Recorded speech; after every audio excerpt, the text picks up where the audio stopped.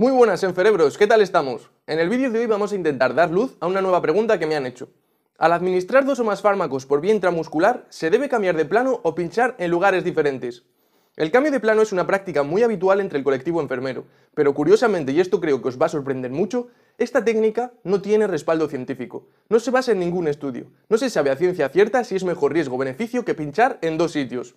Por ello, algunos artículos y guías desaconsejan su uso, y del mismo modo, muchas guías clínicas recomiendan su uso, pero como os digo, sin respaldo científico. Estos artículos que recomiendan el cese de esta práctica hasta que haya evidencia suficiente lo hacen por varios motivos. 1. Por un lado, no se conoce en muchas ocasiones la compatibilidad físico-química de los fármacos que vamos a administrar. Os recuerdo que hace poquito hice una guía acerca de este tema, así que os voy a dejar el enlace en la descripción del vídeo. Es una herramienta muy útil y creo que os puede ayudar. 2.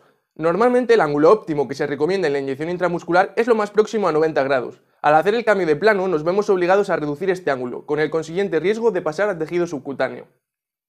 3. El volumen total a inyectar muchas veces es superior al tolerado por el área muscular elegida. Hay mucha gente que realiza el cambio de plano simplemente para repartir la cantidad de fármaco. Esto, según los autores, es un error. 4. Se pueden producir efectos secundarios como depósito de fármaco no absorbido, abscesos y fibrosis, absceso estéril o absceso glúteo.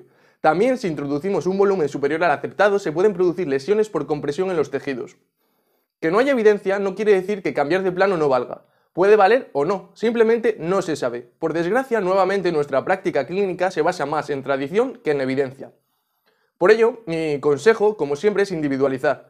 Y dado que no hay evidencia, procurar evitar cambiar de plano. Repito, procurar evitar cambiar de plano.